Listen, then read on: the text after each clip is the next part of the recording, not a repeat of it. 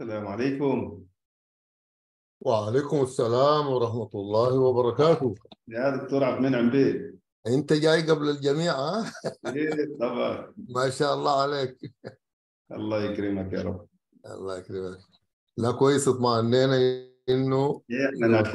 نتأكد إنه الدنيا ماشية تمام. أيوة. ومعانا الدكتورة رقية المغر- المغيري وسوسن شكري وإن شاء الله بننتظر شوية. عندنا لسه سبع دقائق إيه براحتكم ما في مشكلة. ها؟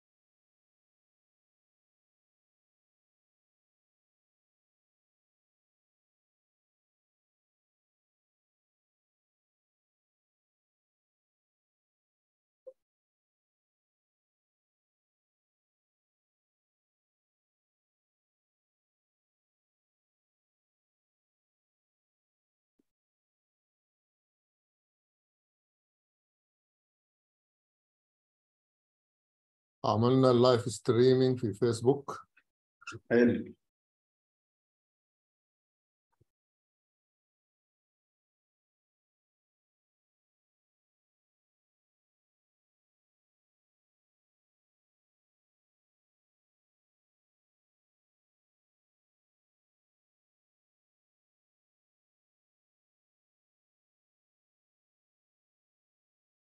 هي بس مباشرة غير التسجيل.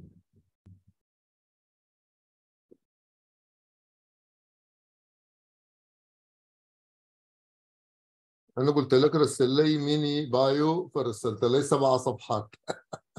دي إيه. ها؟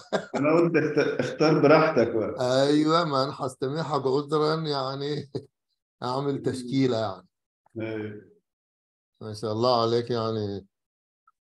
الله يحفظك يا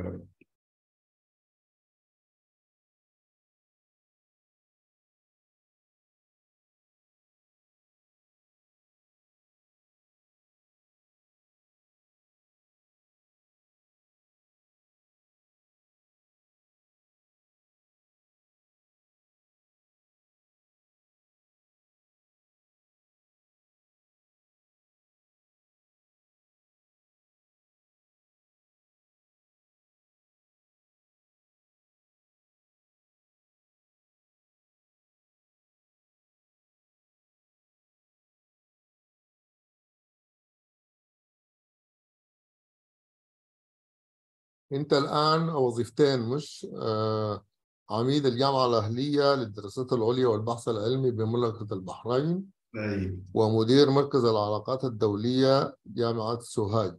لا صح كده آه الدرجات العلمية بتبدأ من آه البكالوريوس مش كده؟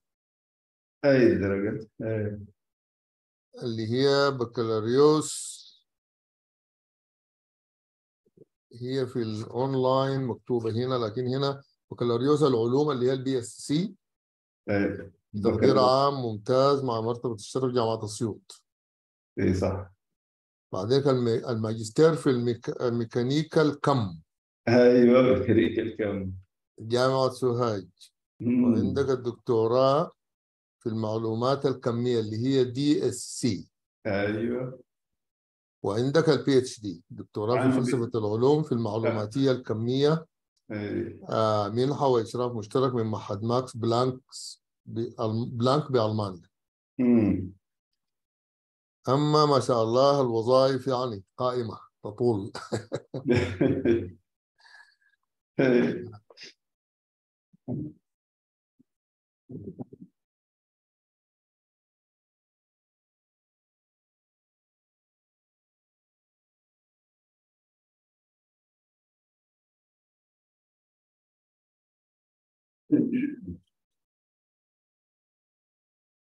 آخر حاجة واخد جايزة آه، تشين شفتها في الموقع شفتها. آه، هي جائزتين آه، في جائزة الدولية التقديرية دي قديمة مش؟ آه، جائزة الدولة التقديرية. في واخد جائزة من الصين اسمها جا- آه، جائزة آه، تشين شو شاو. تشين شو شاو. آه. لسه واخدها أسبوع من يومين كده. آه والله ما شاء الله ما شاء الله. أيوة جائزة جين جو شاو في آه، الرياضيات. فئة أبرز علماء العالم في الرياضيات. ما شاء الله. لكن قبلها بتاعت آه، جائزة الدولة التقديرية 2021 أي. وقبلها بثلاث سنوات جائزة الشيخ محمد بن راشد للغة مم. العربية.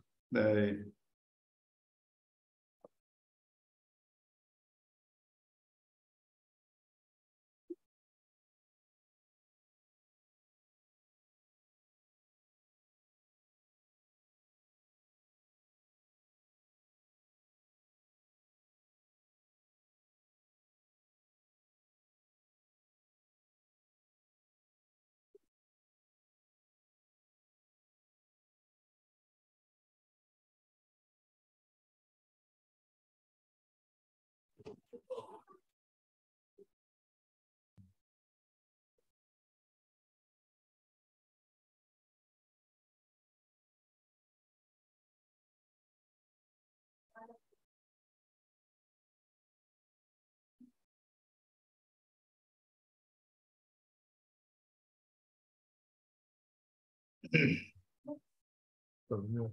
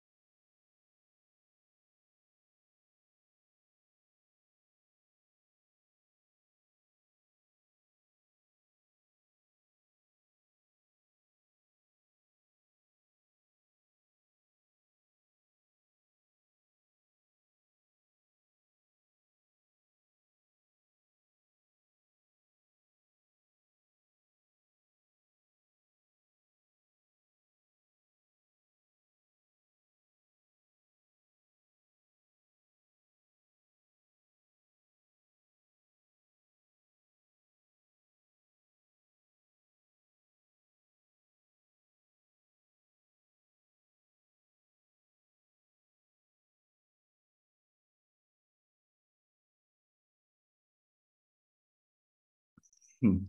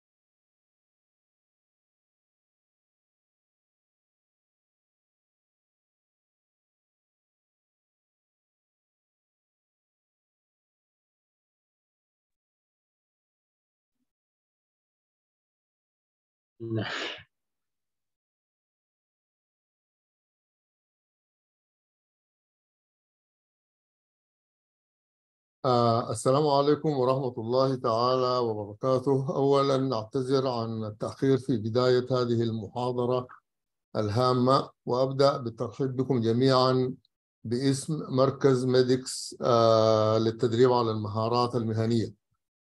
آه صراحة آه متحدثنا اليوم أنا ما عارف كيف أعرفه يعني. آه هو هو بالنسبة للمجال اللي هو فيه هو على رأسه ناره ولكن يمكن بالنسبة لل- للحضور قد ما يكونوا آه خلينا نعمل ميوت اول 17 Yes. آه ال- ال- أول أبدأ بتعريف الموضوع لأنه موضوعنا بالنسبة لي موضوع آه هام وشيق جدا اللي هو ما هي قواعد النشر الأكاديمي والتصنيف الدولي. يعني ما هي القواعد اللي على أساسها بيتم تصنيف الببليكيشنز أو المنشورات في آه، المجلات العلمية. وده موضوع موضوع ما أظن فيه كثير من العلماء عندهم القدرة عن آه، التحدث في هذا الموضوع. ولكن يسعدني ويشرفني يعني أن أقدم لكم قامة في هذا المجال. الأستاذ الدكتور محمود محمد أحمد عبد العاطي. والأستاذ الدكتور محمود الآن هو وظيفته الحالية هو عميد الجامعة الأهلية للدراسات العليا والبحث العلمي بمملكة البحرين وهو أيضا مدير مركز العلاقات الدولية بجامعة سوهاج. وزي ما اتضح من سيرته الذاتية عنده علاقة هو خاصة بجامعة سوهاج ولكن هو درس فيها آه، يعني الماجستير وده بخليني أقدم لكم من حيث آه، المؤهلات العلمية. هو حاصل على بكالوريوس في العلوم بتقدير عام ممتاز مع مرتبة الشرف من جامعة أسيوط. وبعد ذلك حصل على ماجستير في ميكانيكا الكم في جامعة سوهاج ثم دكتوراه في العلوم في المعلوماتية الكمية آه، ودكتوراه في فلسفة العلوم في المعلوماتية الكمية بمنحة إشراف مشترك معهد ماكس بلانك بألمانيا. وهو حاصل على دكتوراه في آه، العلوم في المعلوماتية الكمية. آه، تبوأ مناصب عديدة. يعني إذا بدينا من أول مناصب تبوأها بدأ طبعا كمدرس مساعد بقسم الرياضيات كلية العلوم بسوهاج زي ما قلت لكم عنده علاقة خاصة بجامعة سوهاج. آه، كلية العلوم بسوهاج جامعة تابعة لجامعة أسيوط طبعا. وهو باحث ده في آه، 92 إلى 95 من 97 ل 99 آه، كان باحث لدرجة الدكتوراه في معهد ماكس بلانك في ميونخ في ألمانيا. معناه حصل على الدكتوراه في 99 بعد كده هو آه، كان مدرس بكلية العلوم بسوهاج. آه، في جامعة جنوب الوادي ده من 99 إلى 2004 وفي نفس الوقت بين 2001 و2003 كان باحث داير بجامعة فلسبورغ في معهد الرياضيات وطرق التدريس بألمانيا. آه، وبعد 2004 ل 2009 بقى صار أستاذ مشارك بكلية العلوم بسوهاج نفس الجامعة آه، في مصر. وبعد ذلك ترقى إلى الأستاذية في قسم الرياضيات في 2009 في نفس كلية العلوم آه، أستاذ آه، في ميكانيكا الكم والمعلوماتية الكمية. آه، آه، تبوأ منصب رئيس القسم الأكاديمي بمركز النشر العلمي بجامعة البحرين من 2005 إلى 2014 ومن 2014 ل 2017 هو رئيس قسم الرياضيات بمدينة زويل للعلوم والتكنولوجيا بمصر. آه، من 2017 ل 2022 صار رئيس لجنة الرياضيات والتربية بالاتحاد الأفريقي للرياضيات. ومن 2013 ل 2020 هو نائب رئيس أكاديمية العلوم الأفريقية في نيروبي بكينيا. واضح جدا من آه لسه القائمة تطول القائمة تطول خلينا أوريكم القائمة هذه القائمة القائمة تطول. وبالتالي يعني واضح جدا إنه تبوأ العديد من آه، آه، المناصب في في المجال العلمي والأكاديمي ودي في المجال العلمي والأكاديمي. حصل على عدد كبير جدا من الجوائز لكن آه، أنا أبدأ لكم بآخر واحدة جائزة آه، جين آه، جين جين شاو في الرياضيات. فئة أبرز علماء العالم في الرياضيات بالصين. آه، قبل سنتين 2021 حصلوا على جائزة الدولة التقديرية في العلوم التكنولوجية المتقدمة وجائزة الدولة للتفوق العلمي في العلوم الأساسية في 2009 وجوائز أخرى عديدة. آه، أنا لو حاولت أعرف لكم الأستاذ محمود آه، يعني حياخذ نص الوقت بتاع المحاضرة فأحسن آه، نديه الفرصة لكي يبدأ هذه المحاضرة ال- الهامة عن قواعد النشر الأكاديمي والتصنيف. يتفضل يا أستاذ الدكتور محمود عبد العاطي تفضل آه، شكرا جزيلا ال- الصديق العزيز آه، والأخ ال- الغالي دكتور عبد المنعم. نتمنى إن شاء الله آه، إن إحنا نتبادل سويا بعض المعلومات اللي ممكن تفيدنا جميعا بإذن الله تعالى. وكل سنة وحضراتكم طيبين. المحاضرة ال- النهاردة إن شاء الله اللي هنتكلم عنها هنتكلم على ال- النشر العلمي وقواعد ال- النشر العلمي وجزء من الحاجات اللي آه، كلنا يعني نتشارك فيها لأنه موضوع النشر العلمي والبحث العلمي أصبح من الحاجات ال- المهمة جدا. مش للباحثين بس حتى للدول وارتباطها بالاقتصاد آه، ادالها بعد تاني آه، مطلوب إن إحنا نفهمه يعني نفهم إنه إيه هي ال- الأشياء اللي ورا موضوع النشر العلمي وإزاي إن إحنا نوصل إن إحنا ننشر ونكتب بحوث بشكل آه، آه، صحيح. عشان كده نبدأ لو أول حاجة هنعرف إن إحنا عندنا عشان نتكلم على بحث علمي ونشر علمي يبقى عندي فيه مجلات علمية. المجلات العلمية دي المجلات العلمية المحكمة اللي هي بتنشر البحوث بتاعتنا في ثلاث أنواع المجلات الدولية والمجلات الإقليمية والمجلات المحلية يبقى في ثلاث أنواع من المجلات وكل واحدة ليها الشروط بتاعتها وليها القواعد بتاعتها. بيحدد نوعية المجلات وقوتها أو ضعفها. حاجة اسمها ال impact factor.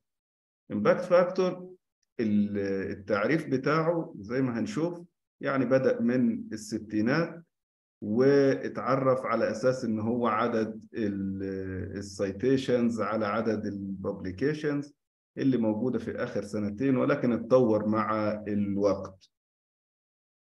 في عندنا كمان ال H-index ال H-index ده اللي هو بيحدد آه، الباحثين وبدأ من Scopus عشان آه، يبقى في عندي impact factor للمجلات في H-index للباحثين وبعدين ال H-index أصبح للباحثين والمجلات أيضا. ال Scopus يعني هنعرف إيه معنى Scopus يعني؟ لأنه كلنا بتتردد وعاده بيطلب منك في الجامعة في أي مكان لازم عايزين ننشر في مجلات Scopus هنعرف إيه Scopus دي؟ وال ISI أو ال Web of Science يعني عندنا حاجتين Scopus أو ال ISI وبعدين نتكلم شوية عن ال cost التكاليف بتاعة الموضوع ده في cost وفي عندي income لازم يبقى فيه أي باحث يدرس ويبقى فاهم العلاقة ما بين ال cost وما بين ال income عشان نقدر إن إحنا نبقى فاهمين المنظومة كلها.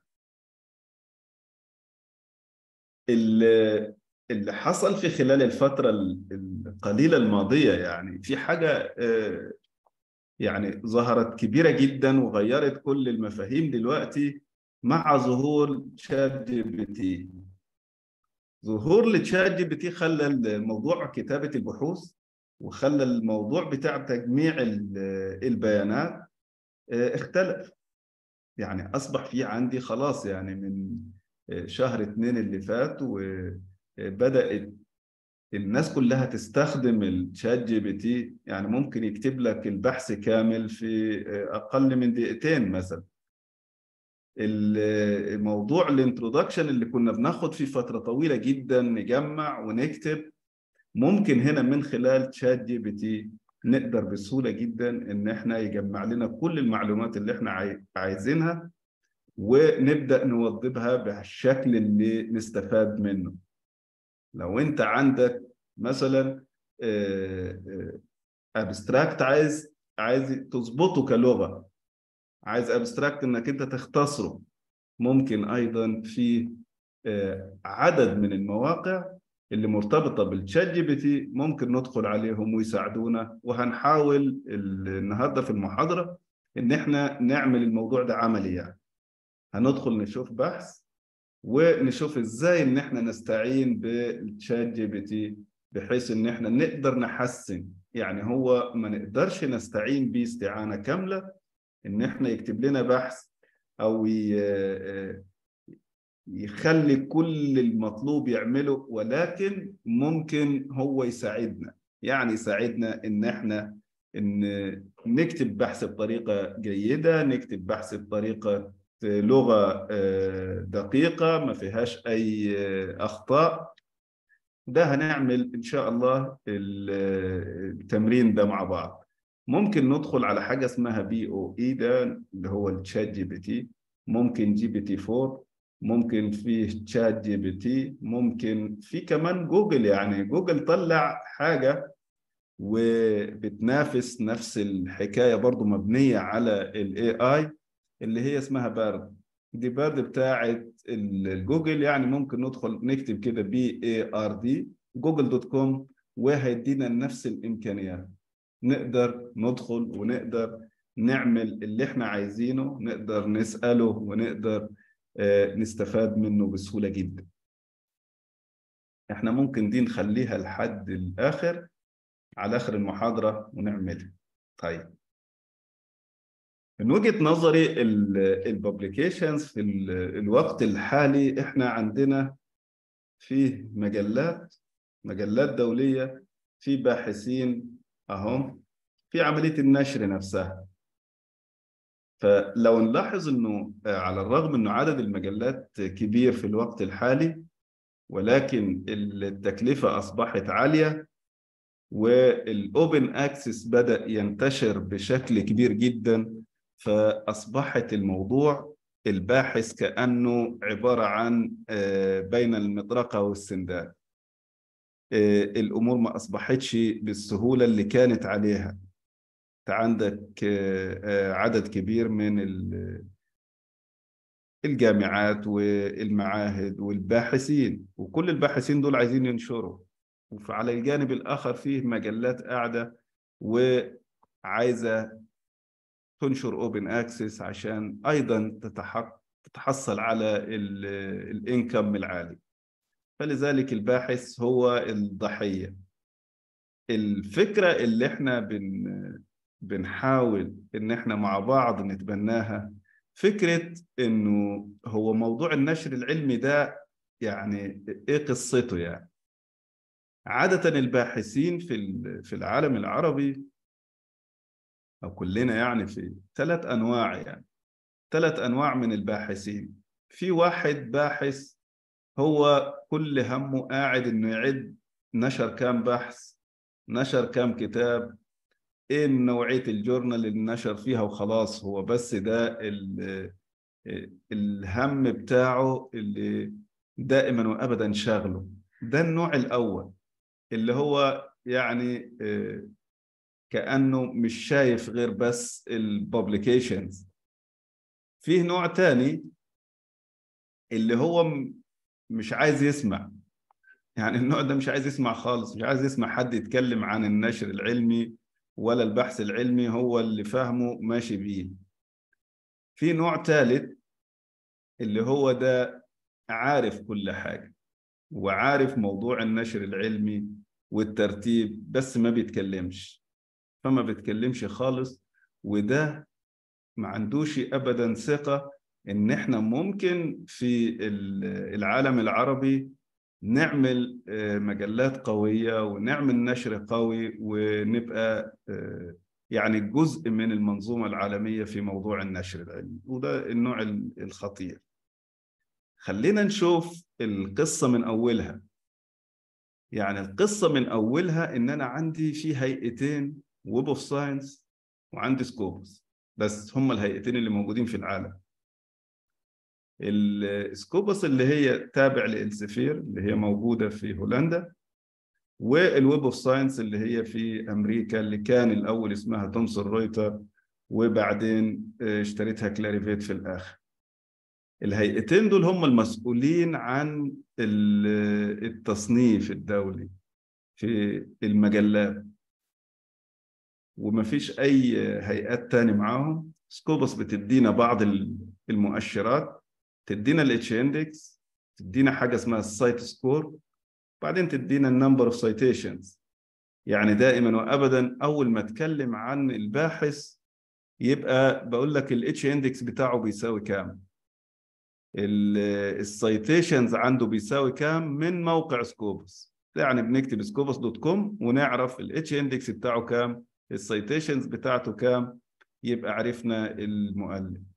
أول ما نتكلم عن المجلات بنتكلم على ال CiteScore اللي هي Scopus بتديهوني ودخلت ال CiteScore ده عشان تنافس ال Web of Science اللي هي بتدي ال impact factor هو نفس الفكرة ولكن المقياس هنا بس عدد السنوات أكتر.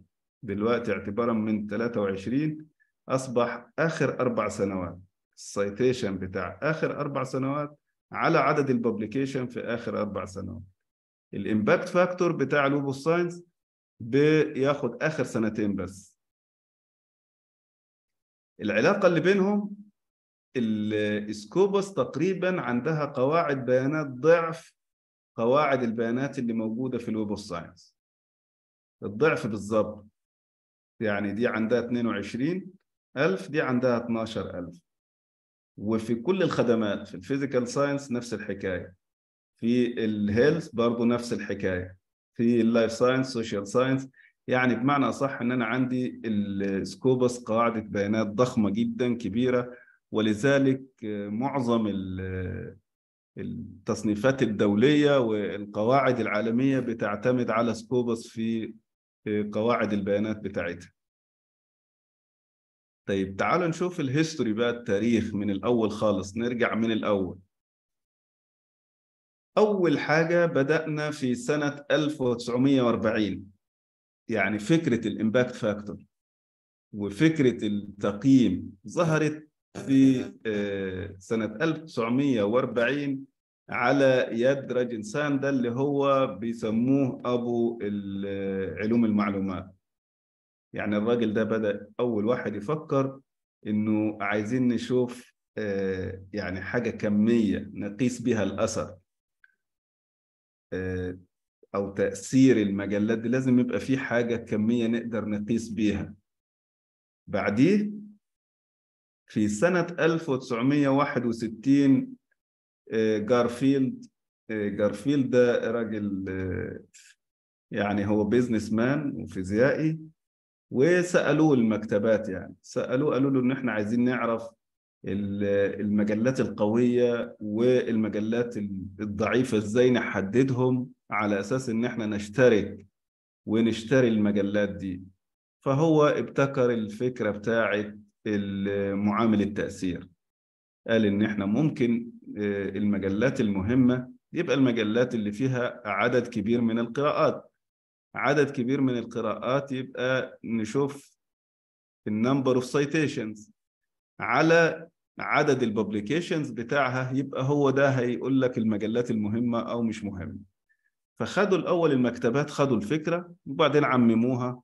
ولما هو حس إنه الموضوع أصبح مهم والناس بدأت تتابع فعمل ال ISI اللي هو Institute for Science Information يبقى ال ISI ده اللي هو أنشأه جارفيلد كل اللي كان يعمله عشان موضوع ال impact factor سنة 63 ال ISI طلع اللي إحنا بنستخدمها إلى الآن SCI اللي هي ال Science Citation Index وبعدين ال social science نفس الحكاية طلعوها في السنة 75 طلع لنا ال JCR ال Journal Citation Report.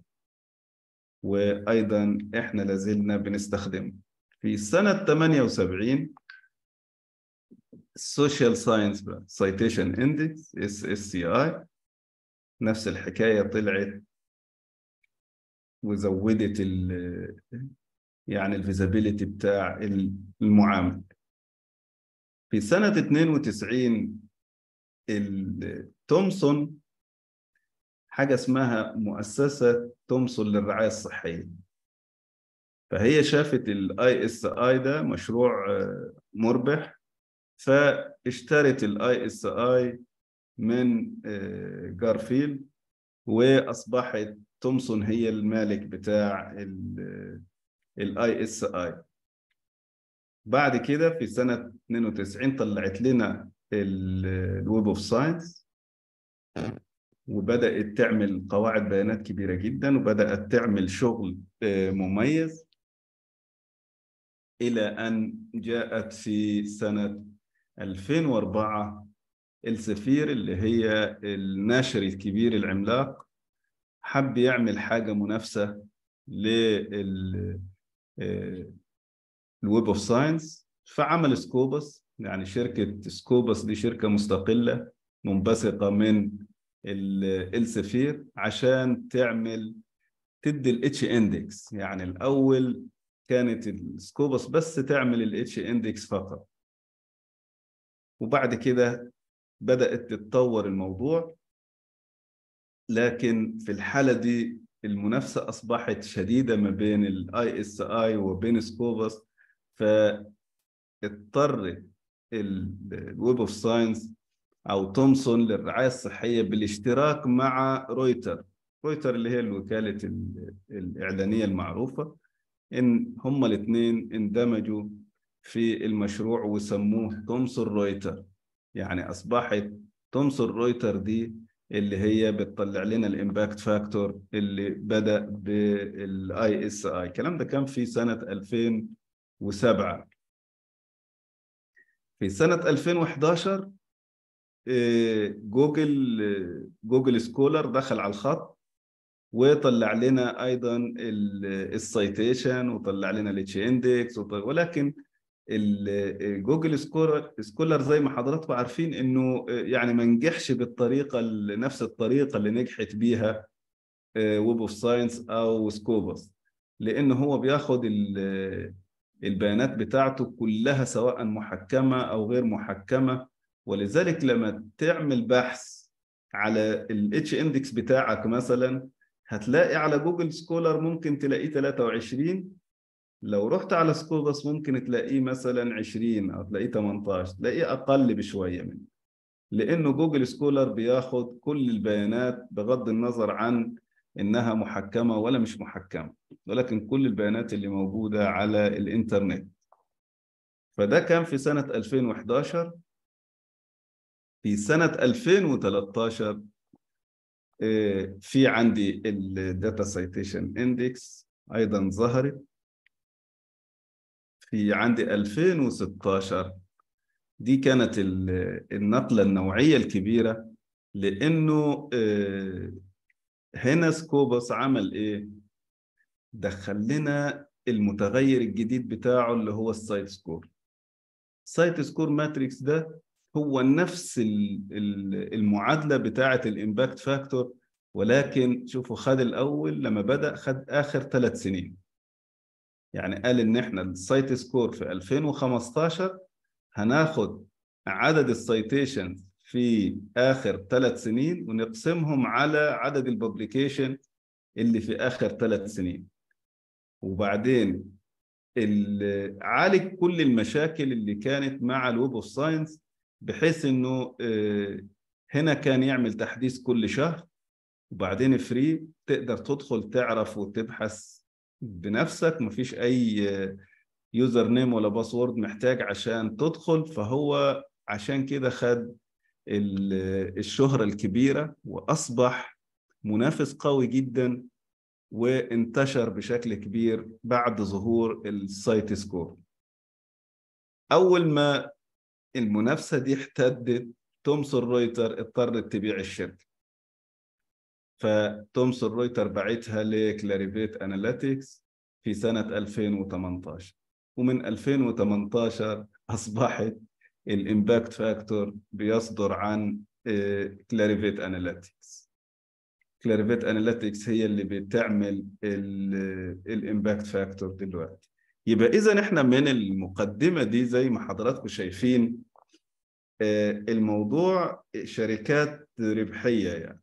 شركات ربحية هي اللي بتعمل التصنيف الدولي واللي بتديلنا ال impact factor كل سنة وبتديلنا ال citations وبتديلنا حتى بيتحكموا في توجيه البحث العلمي نفسه في العالم بالطريقة هم طريقة مهنية طبعا لأن هم عندهم خبرات كبيرة جدا.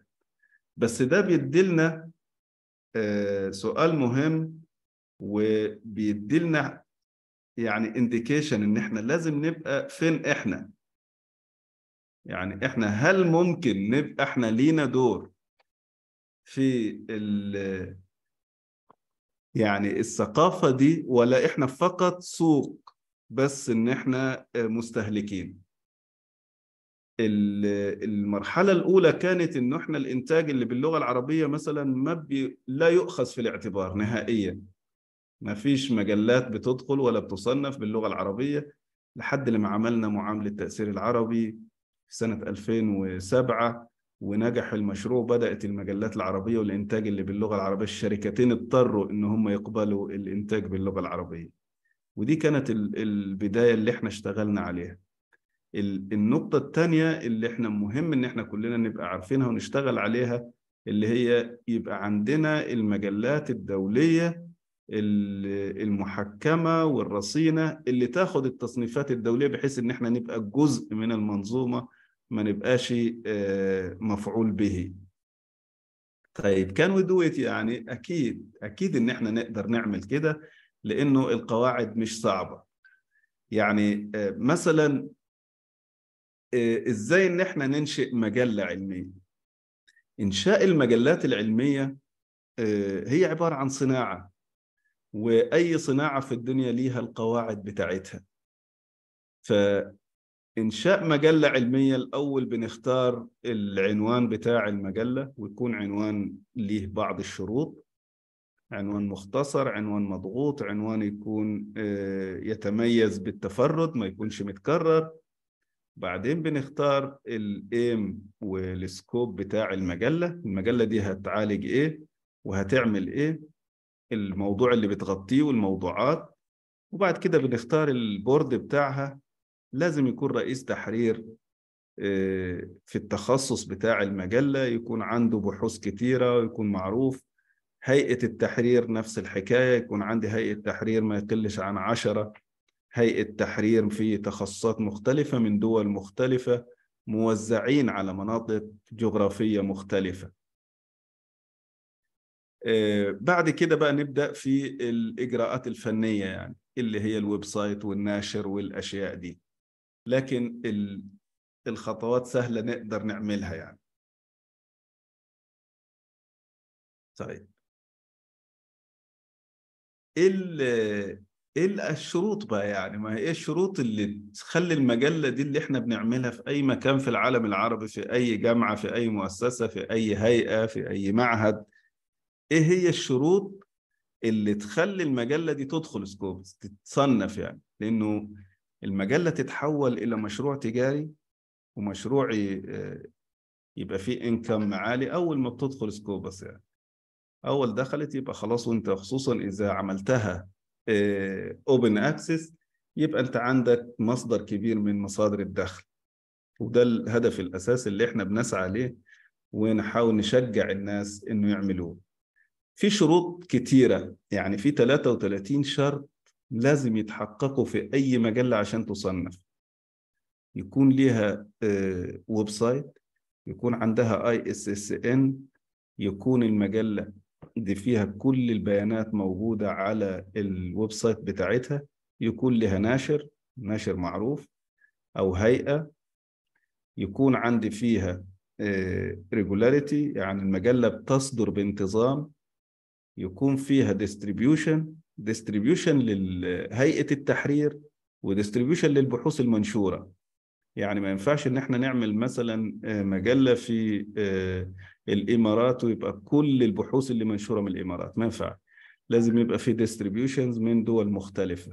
ويفضل إنه من دول العالم ال- ال- المتقدم والدول يعني الشرق والغرب يعني يبقى في distribution كامل من البحوث المنشورة. لازم يبقى في عندي citations يعني لازم يكون البحوث اللي منشورة في المجله حد بيستعين بيها وبياخدها ك reference لازم يكون في عندي دقة لغوية لازم يكون فيه عندي الأخلاقيات النشر العلمي واضحة عليها مكتوبة. يكون عندي style موحد للبحوث كلها تبقى نفس ال style يبقى في مجموعة كبيرة جدا من الشروط اللي interested من حضراتكم ممكن نبعت له الشروط بالتفصيل ويبدأ يعملها واحدة ورا الثانية طيب المشكلة اللي بيسألونا فيها معظم الناس يعني إحنا هنعمل مجلة جديدة وهننشئها بس هنجيب منين سبمشن هنجيب منين ناس ترسل لنا بحوث عشان تنشر عندنا وإحنا عندنا مجلة لسه جديدة؟ هي دي يعني أكبر نقطة بتعوق الناس إنها تعمل مجلات جديدة. لازم يكون عندك network كويس جدا. يعني عشان تبدأ مجلة تبدأ مشروع المجلة لازم يكون عندك ال network ال network اللي هو الناس اللي انت بتعرفهم في التخصص بتاع المجلة ويكونوا من أماكن مختلفة. مع اختيارك لهيئة التحرير هتختار هيئة تحرير من الأماكن دي وكل واحد من هيئة التحرير لازم يكون عنده الاستعداد إن هو يساعد إن هو يجيب بحوث من المنطقة بتاعته. ولذلك نقدر نضمن في أول سنتين قبل ما ندخل تصنيف إن إحنا ماشيين بانتظام. لأنه لو ما مشيناش بانتظام صعب إن إحنا ندخل بعد كده أي تصنيفات. طب إزاي نجيب citations يعني؟ خلاص إحنا نشرنا يعني واستفدنا من ال network اللي عندنا بس إزاي نعمل citation والمجله لسه جديدة؟ citations بتيجي في هذه الحالة عن طريق أول ما ننشر أول عدد ويكون البحوث اللي موجودة فيه نبدأ ك team ننزل البحوث دي في كل الوسائل. يعني نبدأ نخليهم في ResearchGate في LinkedIn في الفيس في أي مكان نبدأ نشير إنه فلان الفلاني نشر عندنا بحث بعنوان كذا كذا والبحث ده تناول كذا. يعني نعمل دعاية نخلي الناس تعرف وخلي الناس تشوف. عشان كده الناس ممكن تاخدها ك reference وأيضا ال board عليه دور إن هو ياخد البحوث اللي هي related للشغل بتاعه ك reference في البحوث اللي بينشرها في مجلات أخرى. طيب يبقى ده بالنسبة للجزء الأول اللي هو إزاي إن إحنا نعمل مجلة وإزاي آه نوصلها للتصنيف. السؤال الثاني المهم إن إحنا إزاي ننشر في مجلات قوية؟ لأنه المجلات القوية عادة يعني فيه جزء كبير جدا من العنصرية. يعني ممكن تبعت البحث وفي على طول تاني يوم يرد عليك بالرفض. ولا يخفى يعني على أحد يعني إنه عادة المجلات بيبقى لها سياسة وفلسفة وبعض المناطق المعينة بيبقى التعامل إلى حد ما طف. يعني ممكن البحث يجي بمجرد ما يشوف الافليشن ده من المنطقة كذا أو من البلد كذا فممكن يحصل الرفض المباشر ده. ولذلك فيه بعض الإجراءات اللي إحنا لازم ناخدها عشان نقدر ننشر في المجلات دي بدون مشاكل. أول حاجة أنا لازم أدرس المجلة. يعني أنا لو عندي تخصص معين وعندي مجلة قوية في التخصص بتاعي عادة معظم الباحثين بيعملوا حاجة يعني متكررة. بيكتب البحث بتاعه بي... بعدين بيحوله PDF ويبعت للمجلة. يترفض من المجلة الأولى يبعته للمجلة الثانية يبعته للمجلة الثالثة وهكذا لحد لما في الآخر بيقبل يعني. وده اللي هو اللي يعني التصرف قد يكون بيضيع كتير من حظوظ الباحث إنه ينشر في المجلات الكبيرة دي. عشان تنشر في مجلة كبيرة الأول لازم تدخل على المجلة تشوف الموضوعات اللي هي بتنشر فيها تشوف طريقة الكتابة في المجلة دي الناس بتكتب إزاي التوزيع بتاع ال ال الأجزاء بتاعت البحث بتتوزع إزاي ال style file هل المجلة دي عندها template عندها template بالناس بتكتب عليه موجود على ال website ننزل ال template بتاعهم عشان نكتب على ال template ده. لازم نتأكد 100% إن الموضوع اللي أنا بتكلم فيه ليه علاقة ببحوث منشورة في نفس السنة إن لم يكن في نفس الشهر. لو أنت related للموضوعات اللي منشورة عنده في نفس السنة يعني مش هيقدر يقول لك ده خارج ده خارج ال scope بتاع المجلة. لو انت كاتب على ال style بتاع المجلة بتاعته ودقة لغوية عالية وملتزم بكل ال style بتاعه يبقى صعب إن هو يرفض لك من الأول خالص. يبقى ده من من النظرة الأولى خالص. الحاجة الثانية إنه إحنا لازم يكون البحث ده فيه لغة قوية ولغة قوية جدا. يعني دائما وابدا أول ما نكتب بحث لمجلة قوية من مجلات الصف الأول لازم يكون عندنا غرور في الكتابة. يعني التواضع في الكتابة في المجلات القوية ده ما يساعدش ابدا إنك أنت تنشر في مجلات كبيرة. بمعنى أقصد الغرور إنك أنت تكتب الألفاظ القوية إنك أنت تعمل فوكس على النتائج اللي, اللي أنت اكتشفتها النتائج الحديثة ونبرزها. نبرزها بأقوى الكلمات وأقوى العبارات. أول ما نقرأ الأبستراكت بتاعتك نحس إنه لأ البحث ده عمل إضافة وإضافة مختلفة وغير من الحاجات اللي موجودة.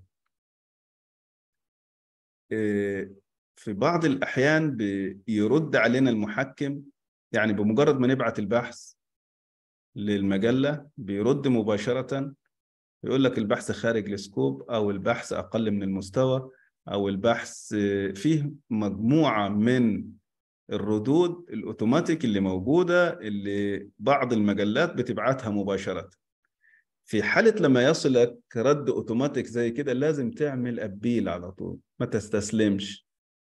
نقول له نرد عليه نقول له لا أنا مش مقتنع إنه البحث بتاعي خارج ال scope بدليل كذا وكذا وكذا.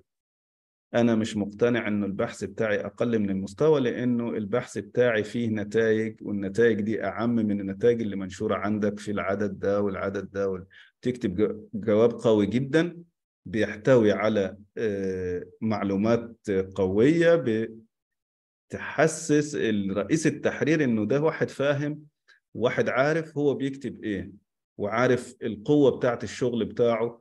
وفي هذه الحالة عادة رؤساء التحرير الغالبية بيقبل ال appeal وممكن البحث ينشر بسهولة.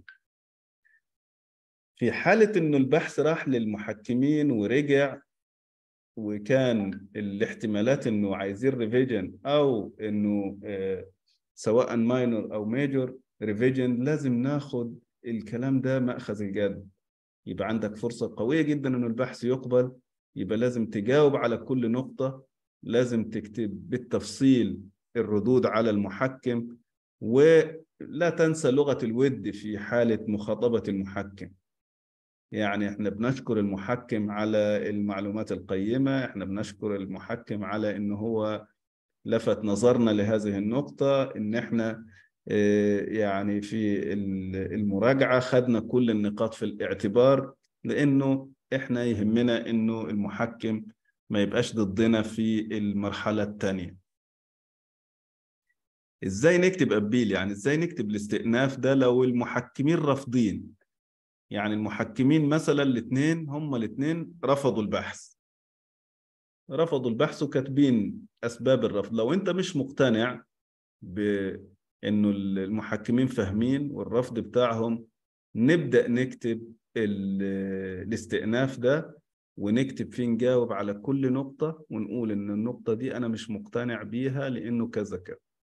المحكم بيقول البحث فيه كذا لكن هو المفروض إنه يبقى كذا.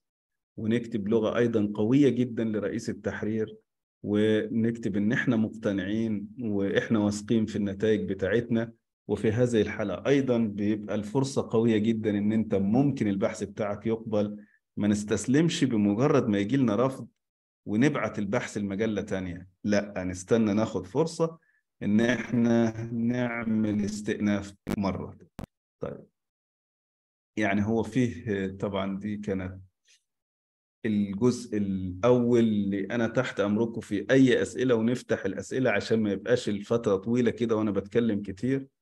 فالباب مفتوح لحضراتكم قبل ما نعمل ال practice بتاع ال ChatGPT فأي أسئلة تحت أمركم. تفضل دكتور عبد المنعم بيه.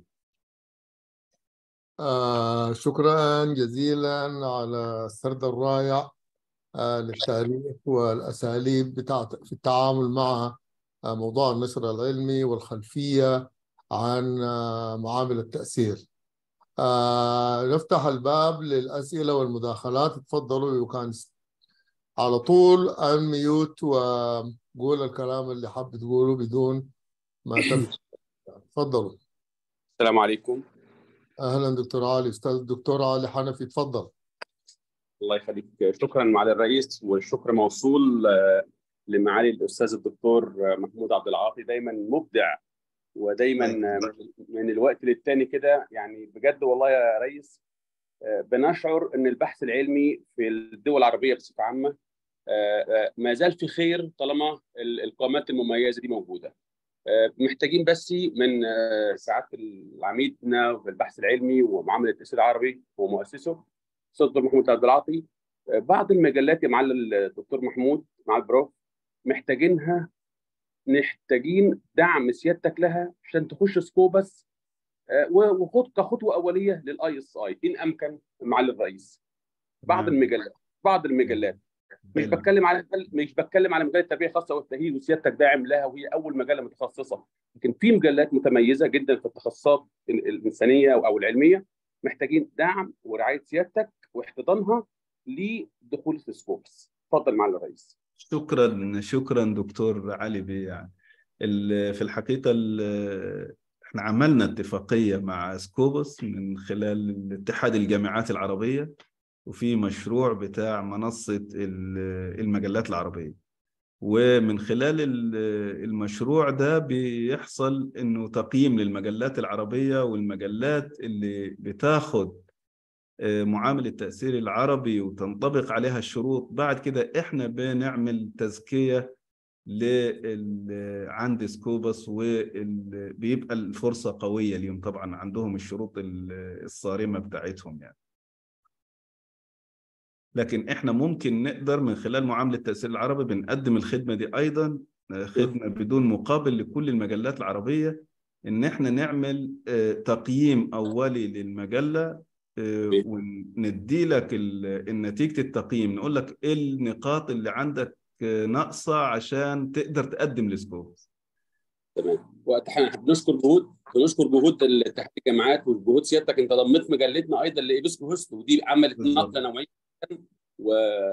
وبعض الجامعات الآن ابتدت تاخد من ضمن معايير النشر عندها أو اعتماد البحوث في الترقيات أن تكون مصنفة ضمن ال EBSCOhost وشكرا جهود. شكرا, شكرا جزيلا. أيضا عندنا الاتفاق مع EBSCO بحيث إنه المجلات اللي تيجي من معامل التأثير العربي وتعتمد EBSCO بياخدها وبيعتمدها مباشرة.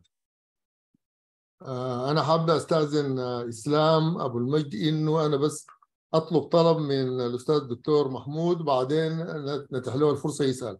أنا عندي طلب ما بالضرورة الآن المهم ما تنسى ما كل الناس الموجودين عندهم فكرة كاملة عن معامل التأثير العربي فدارك لو ت shed some light على الموضوع لكن ندي فرصه لإسلام. أبو المجد تفضل اولا بشكر الدكتور محمود عبد العاطي على هذه المحاضرة الشيقة والممتعة وأهنئه على الجائزة العظيمة التي حصل عليها مؤخرا يعني. كل الشكر والتقدير دكتور إسلام. ربنا يبارك فيك يا رب. أنا سعيد بوجودك والله. حبيبي دكتور محمود ربنا يبارك في حضرتك. يعني أنا استمتعت جدا بالمحاضرة وبالمعلومات وكم المعلومات اللي تم إلقائها في هذه المحاضرة العظيمة يعني. الله يحفظك يا رب. ربنا يبارك فيك. أنا اللي سعيد. هو السؤال الله يخليك يا فندم. هو السؤال شوية يمكن يكون حالم أو طامح لكن مش عارف تعقيب حضرتك عليه إيه. إيه إمكانية إن معامل التأثير العربي يكون منافس ثالث ل Clarivate و Scopus أو يدخل معاهم في شراكة. آه، هل ده ممكن يحصل لو حصل اتفاق آه، أو تقوية بشكل أو بآخر؟ آه، حتى لو جمعنا معانا اللغات غير الإنجليزية. لأن Clarivate و و و و Scopus كل تركيزهم على المجلات والنشر باللغة الإنجليزية. يعني لو جيت حضرتك عملت statistics وأكيد حياتك عملتها هتلاقي نسبة اللغات الأخرى تكاد تكون أقل من 1% يعني صحيح فهل ممكن نطمح في حاجة زي كده؟ إيه الأسلوب اللي ممكن نعمله لحد ما نوصل نبقى يا إما منافس ثالث يا إما اندماج مع حد منهم آه، في المستقبل؟ شكرا.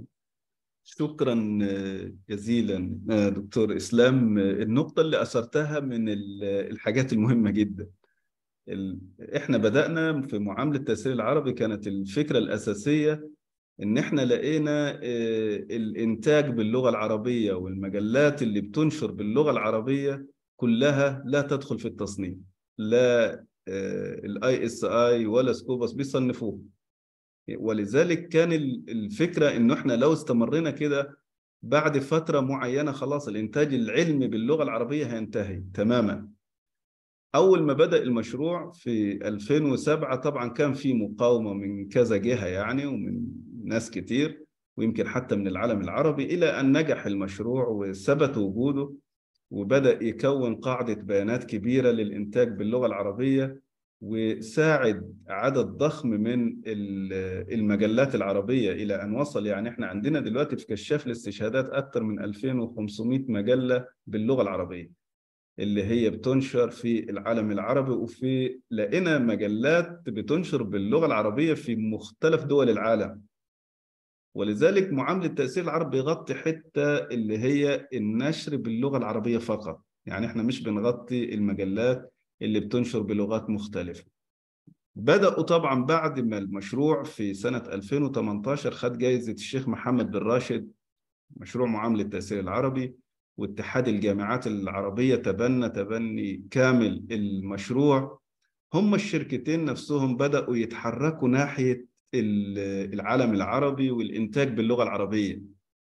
يعني Scopus تحركت على اتحاد الجامعات العربية وعملت الاتفاقية بتاعتهم بتاعت المنصة. Clarivate اتحركت على بنك المعرفة المصري وعملت اتفاقية مع بنك المعرفة المصري عشان يعملوا كشاف استشهادات باللغة العربية. يعني هم الشركتين الكبار نفسهم حسوا بإنه في جزء من ال- السوق بتاعهم هينتهي.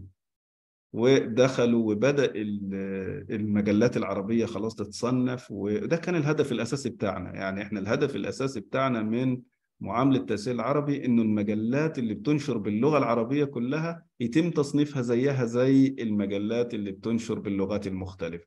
الأخرى موضوع إن إحنا ممكن يحصل آه، شراكة أكثر شراكة استراتيجية أعلى شوية ممكن تحصل في المستقبل. ولكن عادة في المنافسة اللي بين الشركتين الكبار على الإنتاج في العالم بيخليهم إلى حد ما كل واحدة منهم يعني متقوقعة على نفسها يعني.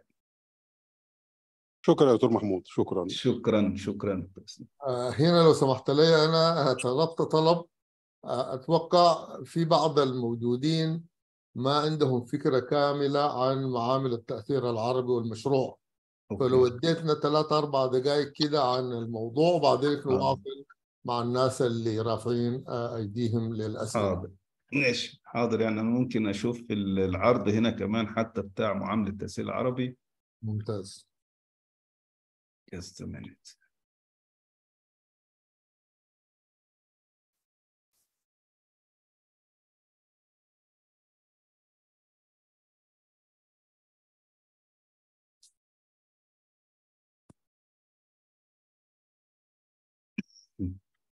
طيب، أدي أنا هعمل شير سكرين هنا.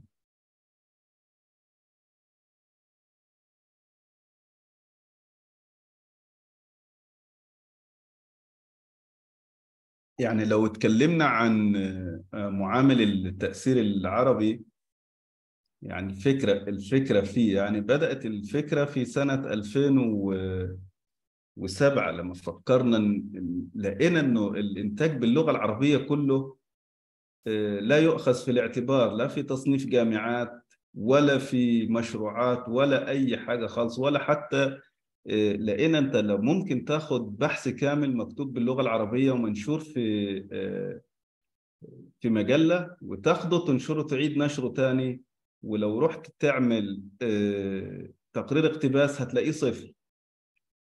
فمعناه إنه مفيش قواعد بيانات للإنتاج باللغة العربية ومفيش حد بيصنف ال- المجلات. دي كانت الفكرة الأساسية. ولذلك كان يهدف لمساعدة المجلات لدخول التصنيفات العالمية ووضع الإنتاج اللي باللغة العربية على آه، الخارطه واخترنا يعني واحد من كل دولة عربية من الناس المسؤولين العلميين المتطوعين. اللي عندهم استعداد إن هم يساهموا في خدمة اللغة العربية. وكانت اهم الأهداف إن إحنا نساعد الهيئات العربية التحول المستهلك للمعرفة لمصدر وبعدين تأسيس منصه يعني منصة للحفاظ على الإنتاج المنشور باللغة العربية. فبدات الفكرة 2007 شكلنا اللجان 2011 2014 خدنا موافقة اتحاد الجامعات العربية على إنه يشرف على المشروع. بدأنا نطلع التقارير بتاعتنا من 2015 طلع التقرير الأول كل يوم 15 أكتوبر من كل سنة بنطلع التقرير. في سنة 2019 خدنا موافقة كاملة من اتحاد الجامعات العربية للإشراف الكامل على ال- المشروع. وده اللي اداله لأنه إحنا كنا عايزين منصة آه، منصة بتشمل الدول العربية كلها. مش عايزين كان ممكن في بعض الدول عرضت إنه يبقى المشروع عندها بس وباسمها يعني ولكن إحنا حسينا ده هي يخلي المشروع لو أي مشكلة بسيطة سياسية آه، أو أي مشكلة من نوع هيتوقف المشروع. فقلنا خليه يبقى مع اتحاد الجامعات العربية عشان يبقى المظلة لكل الجامعات العربية. يعني بدأت في الأول كنا بادئين بداية متواضعة جدا عدد المجلات كانت صغيرة خالص بدأنا من يعني 35 مجلة لقينا تنطبق عليهم الشروط في الأول. بس مع التطور ومساعدة المجلات لأ لقينا إنه نقدر نساعد. وبدأت العراق في السنة الثانية هي عندها أعلى عدد من المجلات. ولقينا مجلات في الهند وفي ماليزيا وفي أمريكا وفي بريطانيا مجلات تصدر باللغة العربية. بتشوفوا بتزيد. بعد كده الجزائر بقى هي اللي احتلت ال- المرتبة الأولى. يعني عندها أعلى عدد من المجلات أيضا مستمرة الجزائر بس ظهرت دول تانية أخرى زي تركيا وإيران مثلا وألمانيا وفي أستونيا. في عندهم مجلات بتصدر باللغة العربية. وفيه موقع موقع كامل موجود هنا لينك على الإنترنت الكتاب بتاع معامل التأثير العربي. يعني ممكن في كل المعلومات وكل تفاصيل المشروع واللجان بتاعته. وأدي الأهمية بتاعه معامله التأثير العربي. نحن عندنا يعني بيعرف الباحثين العرب بالتخصصات يعرف ال- النشر يحافظ على النشر العلمي اللي باللغة العربية. وأي مجلة تقدر تقدم عشان تدخل لمعامل التأثير العربي مجانا دون أي مقابل.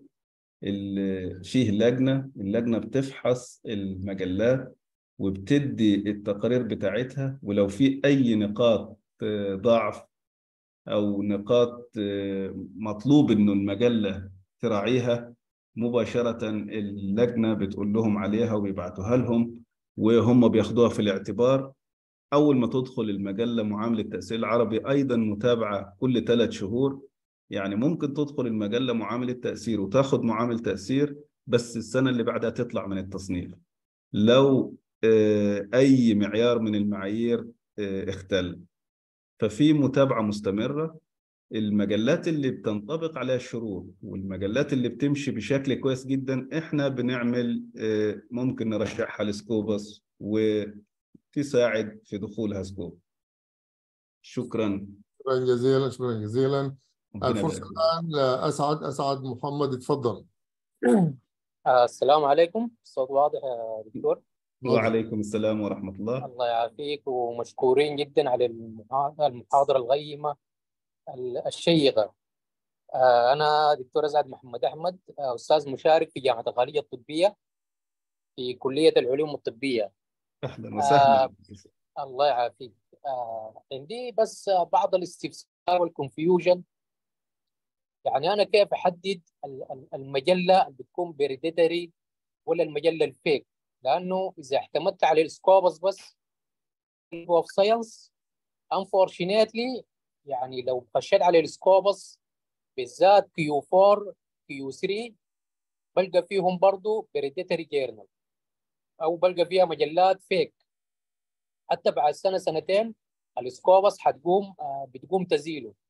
برضو نفس الشيء للويب اوف ساينس بالذات لما نمشي لل index بتاع ال emerging citation index unfortunately برضو بلقى فيهم مجلات هي predatory journal يعني بعد فترة سنة سنتين بعد ما الناس ينشروا فيها والويب اوف ساينس تجي تدقق فيها يطلعوها برا. أنا آه سؤالي كناشر بغض النظر عن المجلة هي indexed في السكوبس ولا الويب اوف ساينس يعني الشروط ال criteria في المجلة المفروض تتوفر عشان أقدر أحدد المجلة دي هي predatory ولا ماشيه في ال line بتاع ال fake. لأنه إذا اعتمدت على السكوبس بس ولا ال ISI ما كافي. شكرا. ف... ف... شكرا. ف... فدي النقطة يعني. مشكور يا بروف على الإجابة المقدمة. سؤال سؤال غاية في الأهمية. لأنه ال- للأسف الشديد الموضوع ده بيتم اللعب به بطريقة بطريقة كبيرة جدا. اللي لازم نعرفه إنه موضوع النشر العلمي آه، هو موضوع business و business ضخم. ولذلك في حروب آه، كبيرة تحت ال- الطاولة ما بين الشركات. قصة إنه يبقى فيه قائمة للمجلات الوهمية أو المجلات المفترسة آه، والقائمة دي يتم تداولها. هي ده عبارة عن لعب شركات. لازم زي ما حضرتك قلت إن إحنا نقدر نحدد بنفسنا. يعني لا نعتمد على آه، قوائم ناس بتبعتها ويتم تداولها عن طريق ال- الوسائل التواصل. ال- الشروط اللي بتخلي أنا أقدر أقول المجلة دي مش وهمية أو مجلة مفترسة إن أنا عندي اولا ما يكونش فيه مبالغة في رسوم النشر. يعني رقم واحد يعني ما يكونش عندك مبالغة في رسوم النشر ما يكونش عندك ال- القبول سريع جدا بدون تحكيم. يعني بعض المجلات ممكن تبعت له يبعت لك ال acceptance مباشرة طالما انت هتدفع يعني. لازم انت تدخل على ال- ال website بتاع المجلة وتشوف مدى انتظام المجلة في الصدور مدى جودة البحوث اللي اللي منشورة في في المجلة. هيئة التحرير اللي موجودة هل هيئة التحرير الموجودة دي علماء فعلا ناس مميزين في التخصص ولا لا؟ جميع المجلات اللي موجودة في ويب اوف ساينس أو في سكوبس ما نقدرش نقول عليها أبدا مجلات وهمية ولا مجلات مفترسة نهائي. لأنه الهيئتين دول بالتحديد بيعملوا مراجعة دورية كل ثلاث شهور. ويمكن في سكوبس بتعمل كل شهر. أي شك في أي مجلة إنها بتمارس أي نوع من أنواع الاحتيال أو نوع من أنواع اللي إحنا نقدر نسميها مجال على طول بيطلعوها. يعني ما بيستنوش عليها سنة ولا سنتين ولا لا مباشرة بيدوا إنذار إنذار تاني إنذار على طول بيطلعوه من التصنيف. ولذلك المجلات اللي, اللي موجودة كلها في الحل الوحيد بالنسبة لنا كباحثين إن أنت تدخل على سكوبس لقيت المجلة أو الويب اوف ساينس لقيت المجلة يبقى خلاص إحنا دي ما نقدرش نقول عليها ابدا وهمية أو مفترسه. المجلات اللي لسه ما دخلتش اللي لسه ما دخلتش تصنيف أو مجلة بتستعير اسم واحدة موجودة في الويب اوف ساينس مثلا.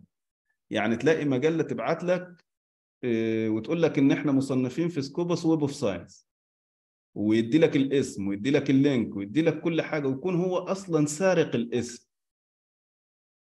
فأنت في هذه الحالة بتدخل على ال ISSN اللي كاتبه وتشوفها وتتأكد إنه ده المجلة الأصلية اللي هي موجودة في سكوبس أو كلاريفيت مش مجلة واخدة الاسم أو سرقه الاسم. لأنه في بعض المجلات بتعمل كده أو بعض الناس المفترسين بيعملوا كده. يعني يشوف مجلة مشهورة في ويب اوف ساينس وياخد الاسم ويبعت لك انفيتيشن بعدين تدفع فلوس وياخد البحث وبعد فترة تلاقي البحث بتاعك مش موجود. شكرا دكتور سعد. آه سعاد دكتورة سعاد مطر تفضلي السلام عليكم. وعليكم السلام. ورحمة الله. أنا سعاد مطر من الجامعة الأمريكية في الإمارات في دبي. سؤالي يشتبه تماما لسؤال البروفيسور اللي قبل مني على طول. كيفية إن أنا أتحقق من إن الجورنال اللي أنشر فيه يكون تابع فعلا لسكوبس لأني تعرضت آه، مرة سابقة حصل ميوت يا دكتورة. unmute again. شكرا. أم، فكيف إن أنا أتأكد؟ يعني ال journal لما بدخل وبكشف عليه في ال في ال في ال Scopus site بلاقيه موجود والاسم كبير و- وبقاله سنين عديدة لكن بكتشف once إن أنا دفعت ومنتظر إنه يتنشر إنه مش مش سكوبس بالمرة. ده حد عامل يعني. صح كده حضرتك فهمتني آه تمام. الفكرة الفكرة واصله أشكر حضرتك بروفيسور تمام. ربنا يبارك فيك يا دكتور سعد. شكرا. هو دي ال- النقطة اللي أنا بحذر منها يعني. أنا دائما وأبدا ما نستعملش لازم يكون الإيميل اللي أنا بتواصل مع المجلة يكون الإيميل الرسمي بتاعه. يعني الإيميلات اللي هي العامة بتاعة الجيميل والياهو وكده ما نتعاملش معاها في حالة ال submission أو دفع ال- المصروفات. لازم يبقى عندي الإيميل والإشعار جايين من الموقع الرسمي بتاع المجلة ويفضل إن إحنا ندخل عليه ونتأكد منه. لكن في بعض الأحيان بيجي لك نفس المجلة الكبيرة وكل حاجة بس إيميلات كلها مش رسمية. ولذلك الناس بتقع الضحية في الحالة دي. تمام. لسعادتك وافر الشكر. شكرا شكرا دكتور سعد. آه دكتور علي محمد يوسف. السلام عليكم. وعليكم السلام ورحمة الله دكتور علي. دكتور محمود ازي حضرتك؟ الله يبارك فيك. اولا مع حضراتكم علي يوسف مدرس مساعد دكتوراه علوم قسم الرياضيات سبهاك أهلا وسهلا أهلا وسهلا دكتور علي. اولا بارك الله في حضرتك على هذه المحاضره القيمة جدا يعني. آه، حضرتك. دايما فخر لنا جميعا كالوطن العربي كامل. وسبهاك بشكل خاص يعني. ربنا يبارك فيك. ربنا يحفظك ربنا يبارك. عشان مش هاخد من حاجات كتير هو أنا السؤال كان شبيه بسؤال دكتور سعيد. ولكن في في اتجاه ثاني يعني. دلوقتي إذا كان المجلة أنا عارفها هي already سكوبس وموجودة في كلاريفيت أو ويب ساينس. آه، ولكن زي ما حضرتك عارف إنه ال- ال- ال cite score اللي في سكوبس أو ال impact factor اللي في الكلاريفيت هي عبارة عن حسابات. صح. يعني عبارة عن آه، أنا بقسم ال citation على عدد البحوث. صح. أنا لو لو القائمين على المجلة فاهمين هذا الكلام أنا ممكن أجمع citation وممكن أجيب ال citation. وبعدين أتوصل إن أنا هرفع المجلة بتاعتي أو أقوي المجلة في ال impact factor بتاعتي أو ال cite score. السكوبس نفس القصة هي متطلبات. في بعض ال requirements أنا ممكن أحققها في المجلة بتاعتي وأدخلها في آه، سكوبس.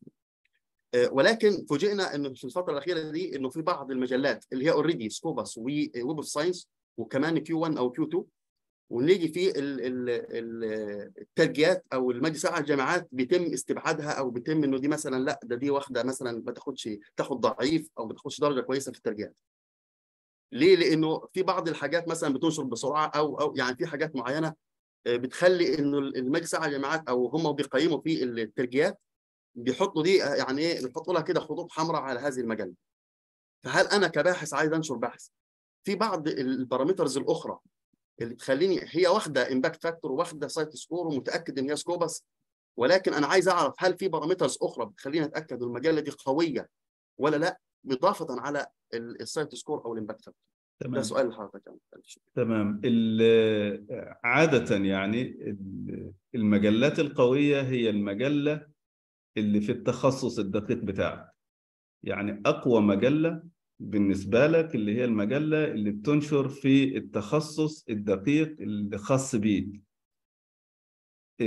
كل الأشياء اللي حضرتك قلتها يعني هو ده الطريقة اللي بيتم تقييم ال- المجلات بيها. مفيش حل تاني غير إن إحنا نشوف عدد السيتيشنز بدأت في اتجاهات عالمية حاليا إنه آه، الناس مش مقتنعة بال impact factor يعني هو في بعض الأحيان misleading يعني أقول لك إنه ممكن أنت تنشر بحث غلط. يعني كل النتائج اللي فيه غلط. وكل اللي يجي بعديك يقول إنه ده البحث بتاعه غلط أو البحث بتاعه ده النتائج بتاعته كلها خاطئة. كل ما واحد بينتقدك أنت بتاخد citation أعلى. يعني ال citation بتاعك بيزيد. يعني لو في مجلة بتنتقد كتير ال citation بتاعها هيزيد يعني معناها ال impact factor بتاعها هيزيد. فده misleading يعني في بعض الأحيان يعني. ف ده الحل اللي موجود حاليا أو المعادلة اللي موجودة حاليا. العالم بيفكر الناس بيفكروا بتوع قياسات المعلومات إنه هم نشوف آه، آه، يعني مؤثر جديد يقدر يدي لنا الجودة بتاعة المجلات غير ال impact factor في بعض الشركات حاليا وبعض الهيئات مش معترفين خالص بال impact factor وبدأوا آه، يعملوا impact factor خاص بيهم للمجلات بتاعتهم عن طريق آه، ال Google Scholar مثلا. نعم ألف شكر لحضرتك شكرا. آه شكرا جزيلا. آه جاوبت أنت على كل الأسئلة.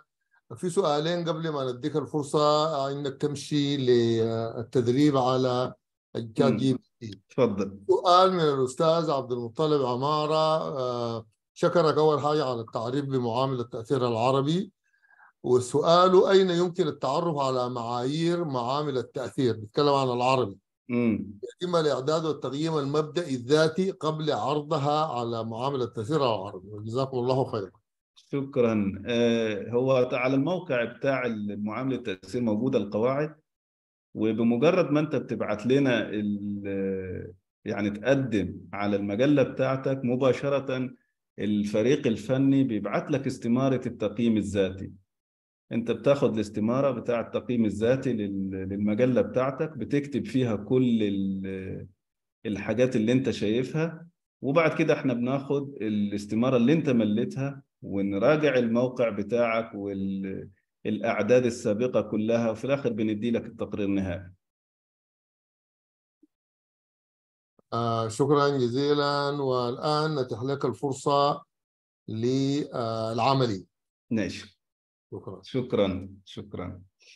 هندخل على ال- العمل دلوقتي. هنشوف موضوع إزاي نستخدم ال ChatGPT.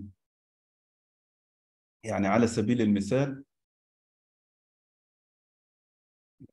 إحنا خلينا آه، ندخل هنا.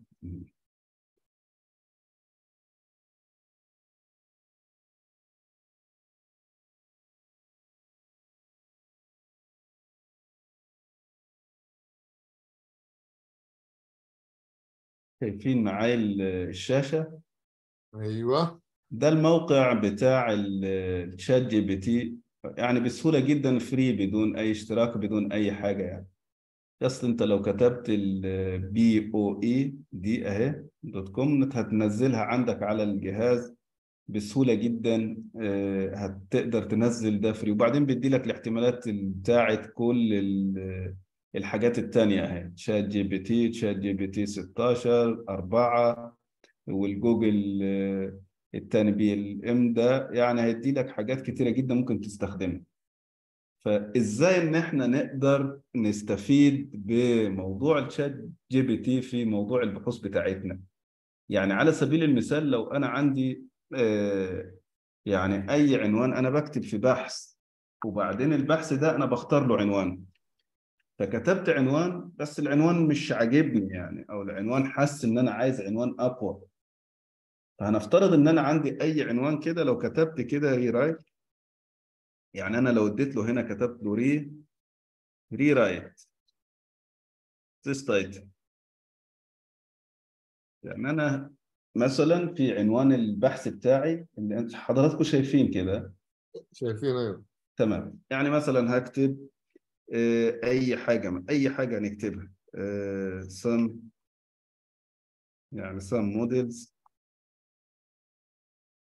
On quantum. On quantum optics. مثلا يعني. أنا عندي عنوان في البحث بتاعي بالشكل ده هقول له عيد لي كتابة ال- العنوان ده. نشوفه إيه الاحتمالات اللي هو هيديهاني. هيديني هل لغه أقوى هيديني بص تلاقي هيدي لك حاجة professional جدا. يعني على طول مباشرة. يعني هو اقترح لي كده quantum optics model selection بدل some models of on quantum optic كتب لي كده quantum optics model selection. اداني اقتراح أقول له مش عاجبني ده يعني. يعني ممكن أقول له إيه، اديني حاجة مختلفة. يعني in more detail مثلا in more detail. يعني اديني كمان عنوان يعني اكبر آه. أنا عنوان بقى عشان يديني الاكبر شوفوا كتب لي إيه. Exploring Paris modeling quantum optics and overview وبعدين آه وبعدين بيشرح لك بقى هو ليه ادالك ال- ليه ادالك ال title بالشكل ده؟ يبقى ده يساعدني جدا يساعدني إن أنا أقدر أختار عنوان قوي للبحث بتاعي. وبعدين عنوان قوي كمان ده بيستخدم لغة قوية جدا. يعني اللغة اللي عنده ما فيهاش أي أخطاء يعني. نروح مثلا إحنا كتبنا ال abstract عادة الناس بتكتب ال abstract وهي اللي بيتوقف عليها القبول بتاع البحث أو عدم قبول. معظم الناس بتكتب في ال abstract وبيبقى فيه يعني تطويل فيها أو بيبقى فيها استخدام ألفاظ متكررة. هنا نقول له لو إحنا قلنا له rewrite ال abstract rewrite the abstract in in short مثلا. أو compact أو تختار أي لفظ بحيث إنه وحط له ال abstract اللي أنت عايزه. لو كتبت إن شاء الله abstract مثلا صفحتين تلاقيه بيلخصها لك بقوة شديدة جدا وبيكتبها بشكل ممتاز. هنفترض إن أنا هروح آخد ابستراكت بس تكون جاهزة. أهي. هاخد ال abstract دي.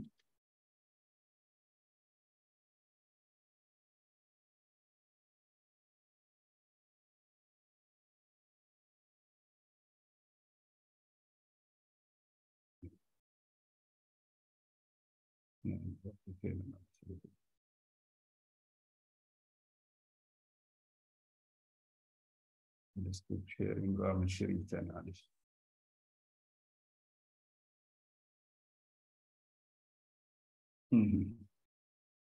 يعني أنا هكتب هنا أنا جبت abstract كاملة أهي. في abstract كاملة this aim to assessing current state مش عارف إيه. هنقول له عيد لي كتابتها وبعدين لازم نقول له rewrite the abstract يعني ما تكتب له إن هو ما تقول له abstract يعني في بعض الألفاظ لازم نقولها له. يعني لو ما قلتش الألفاظ المحددة دي هو مش هيفهم أنت عايز إيه. يعني في ال title بقول له rewrite title تعيد لي كتابة العنوان فهيعرف إن أنت هو بيعيد لك كتابة عنوان بحث. لما هنا نقول له rewrite ال abstract يبقى هيدي لك فعلا هو هيبقى عارف إن هو بيكتب في ال abstract فهنكتب كده أدي rewrite شوف ال abstract كبيرة يعني. إيه كبيرة وفيها كلام كتير. فهو هيشوف اختصرها لك إزاي؟ يعني اختصرها لك وبعدين بشكل آه، حلو يعني this paper assess current status solid كذا كذا ولغة قوية وتمام. يبقى إحنا كده إذا اختصرنا بس ما ناخدش الكلام زي ما هو وناخدها copy paste لأنه حاليا بعض البرامج بتاعه ال plagiarism هتقدر تقول إنه ال abstract دي جاية من ال ChatGPT فأنت بتاخد بس تستفيد يعني تستفيد من إعادة كتابة اللغة اللي هو كتبها لك وأنت بقى تظبطها بنفسك يعني. لأنه لو خدناها زي ما هي كده copy paste ممكن تطلع كاستلال لما يحصل في تقرير بتاع ال plagiarism ال- الميزة الكبيرة بقى هنا والاستخدام اللي أنا شايف إنه من أهم الحاجات إنه نقدر يعمل لي يديني كل الريفرنسز اللي مرتبطة بالموضوع بتاعي. يعني أقول له مثلا اديني some. يعني أقول له give me some references. Some recent. خليها recent. يعني عايزين حاجات حديثة. Some recent references on بديله في أي موضوع بالعربي بالمناسبة ممكن بالعربي وبالإنجليزي الاثنين. يعني on مثلا أقول له quantum computer. quantum computer. أنا قلت له اديني بعض المراجع بقى الحديثة بدل ما كنا نقعد ندور بقى. يعني شوف هيدي لك أهو. قال لك ده شوف شوف بسرعة مديني كل المراجع اللي أنا أتخيلها و... آه. ده 21 سنة 21 سنة 16 سنة 2009 14 21 ممكن تقول له أنا عايز كمان لا مراجع أحدث. عايز كتب بس. عايز يعني تحدد له اللي أنت عايزه بالظبط هو هيديهولك. يعني أصبح انه إحنا تجميع المراجع ما أصبحش مشكلة خالص. وهيدي لك معناه انه هو هيغطي كل الحاجات اللي أنت عايزها. ممكن باللغة العربية. يعني ممكن ناخد حاجة بالعربي. نقول له آه، بعض بعض الكتب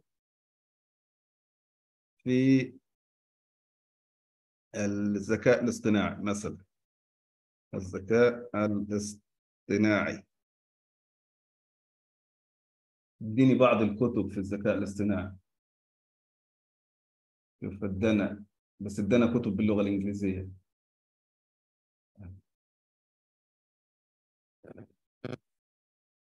بعدين هو مقترح لي كمان بيقول لي أنا ممكن أقترح لك بعض الأسئلة اللي تسألهاني يعني. هل يمكنك توفير معلومات إضافية حول هذه الكتب؟ هل لديك أي توصيات لكتب أخرى في مجال الذكاء الاصطناعي؟ هل يمكنك توفير معلومات حول مستوى صعوبة هذه الكتب يعني لو إحنا اخترنا دي كده بيقول لك بالتأكيد عندي توصيات لكتب إضافية في الذكاء الاصطناعي وادالك مجموعة تانية كثيرة من كتب الذكاء الاصطناعي ولذلك ده يعني عمل عمل ثورة عمل ثورة في كتابة البحوث حاليا اختصر لنا جزء كبير جدا من المجهود اللي كنا بنبذله عشان نعمل survey وعشان نشوف ال- المصادر اللي كتبت عشان حتى ال- الفترة الكبيرة اللي كنا بناخدها في المراجعة عشان نراجع وندقق في اللغة في البحوث أصبحت خلاص هو سهل الموضوع. في بعض الأحيان ممكن تروح تقارن يعني تكتب هنا وتستخدم ده وتقارنه ببعض البرامج الأخرى. من نفس الحكاية يعني مثلا ال Bard بتاع آه، آه، جوجل ده. ال Bard بتاع جوجل ده برضه قوي جدا آه، وبيدي معلومات أكثر تفصيلا. فأنت ممكن تستخدم الاثنين يعني. فده يعني ده المعلومات اللي كنا عايزين نقولها عن ChatGPT وتحت أمركم في آه، أسئلة. آه أنا حقول لك عبارة كتبتها آه آية آية أحمد تربية أيوه. قالت إنه ChatGPT بالذات مش مجاني في مصر هو بيدي تجربة لمدة سبعة أيام وبعد كده بيطلب اشتراك. لا آه، هو ال- ال ChatGPT فعلا هي زي ما بتقول ولكن ال Poe ده free يعني من زمان شغال وما مش محتاج اشتراك ولا محتاج أي حاجة. و Bard free أيضا مش محتاج اشتراك ولا أي حاجة. أما ال ChatGPT نفسه محتاج فعلا اشتراك. هو مشكلته الوحيدة إنه آه، آخر آه، آخر بياناته 2021 آه بالظبط كده. هو قاعد البيانات معتمد على ال 2021 ده صحيح.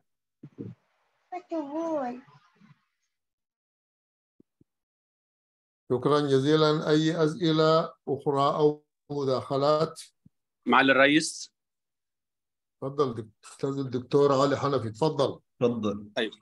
طيب. آه، معالي البروف آه، محمود هل هل يعني أنا الان عمال أفكر إحنا أخشى من الجيل القادم في الباحثين مم. يعتمد على هذه المواقع ولا يوجد فرصة للتفكير ولا الترجمة الذاتية ولا البحث عن المعلومة اللي إحنا تعبنا عليها يا دكتور محمود. لا عشان كده اتعلمنا صح يا بروف معايا سعادتك. صحيح يعني بقاء الأثر. فاكر أنا والله لن أنسى بعد إذن سيادتك والزملاء يسمعوني كلهم والله ما أنسى. كنت بروح الجامعة الأمريكية بنظام الكارنيه ده هو من الجامعة واخد اشتراك وأنام في المكتبة فرصة إن أنا ببحث أجيب المكتبة بإيدي النظام الورقي بقى والتصوير والحاجات دي. معايا سعادتك؟ أيوه طبعا. أخرجت الفترة دي أجيال الآن فاهمة يعني بحث علمي. والله أثق في كل الزملاء الباحثين الجدد وال- وال- والشباب المتميزين لكن ما تقييم سيادتك وانت راجل رائد ومؤسس ونموذج نفتخر بيه في المواقع دي؟ اللي اللي اللي, اللي ابتدت تخلي الباحث يعمل البحث وقاعد في البيت في على مكتبي بحوث مكتبية. معايا سعادتك. يعني ما تقييمك وأنت رجل نثق فيك وصاحب جوائز بحيادية. تفضل مع الوزير. ال- المشكلة دكتور علي حاليا اتجاه عالمي مشكلة مشكلة. ل ChatGPT قدر يحل حتى الامتحانات بتاع كلية الطب يعني. ال... طب ده كلام ده كلام ده, ده كلام. بعدين البحوث لقوا الطلاب معظم الطلاب بي... بيستخدموا ال ChatGPT يعملوا المشروعات ويعمل فلذلك ال... العالم كله حاليا بيفكر. بطريقة إنه لازم يسيطر على ال... القصة دي يعني مجلس الأمن يمكن نتابع اجتمع لأنه بيقول إن إحنا لازم نحمل ميثاق لاستخدام الذكاء الاصطناعي لأنه لو استمر بنفس نعم. الطريقة دي هيقضي على الجنس البشري تماما يعني خالص خالص يعني يعني الجنس البشري ممكن يختفي لأنه الذكاء الاصطناعي لما دخل والروبوتات بدأت توصل للمرحلة أيوة. الكبيرة جدا مع نعم. من تعلم الآلة يعني تعلم الآلة يعني معناها إن الروبوت هيبدأ يفكر وياخد قرار ويتصرف مش نعم. لازم تكون حاجة عنده متخزنة لا ده هو هيتعلم من ال- الخبرات الكتيرة اللي موجودة ومتخزن آه، عليه ولذلك إحنا يعني إحنا بنمر حاليا في منعطف خطير جدا نعم في نعم كل مناحي الحياة أحسنت. العالم النهاردة مش هيبقى هو نهائيا العالم بعد عشر سنين ولا بعد عشرين نعم. سنة خالص كل نعم. المفاهيم هتتغير غالبية الوظائف هتنتهي تفكير الإنسان هيختلف العلاقات الاجتماعية هتختلف نعم. العيشة الافتراضية اللي العالم حاليا بيعيش فيها مع الميتافيرس ومع يعني حتى في اتجاه بيقول إنه ما فيش جامعات هتبقى نهائي في العالم ما فيش. جامعات بالشكل اللي إحنا شايفينه ده مش هيبقى فيه مباني ويبقى جامعات ولا خلاص يعني. والله. التعليم كله هيبقى بطريقة مختلفة وبشكل مختلف. ولذلك ربنا يستر بقى في الفترة القادمة. الأجيال اللي جاية نعم. آه ولكن في ميثاق أخلاقي بيتعمل حاليا في العالم. لازم العالم ما عندوش حل تاني لأنه ده أخطر من ال- الحرب النووية. يعني. الذكاء الاصطناعي التطور بتاعه المذهل ده وبدأ نعم. يخرج من ال- عن السيطرة هيبقى أخطر من الحرب النووية. آه طبعا طبعا طبعا. يعني ما أنا بعد إذن عليك ده أنا عمال أفكر طب الطالب الآن بدربه إزاي يوثق وفقا ال APA 7 هو مش محتاج حاجة دي يدربه هو خلاص هيخش يلاقي كل حاجة جاهزة صح كده؟ لا طبعا برامج جاهزة خلاص مش محتاج خلاص. طيب خلاص يبقى خلاص. طيب طيب. دكتور حنفي واسمح لي يا سماحة الدكتور محمود. اتفضل.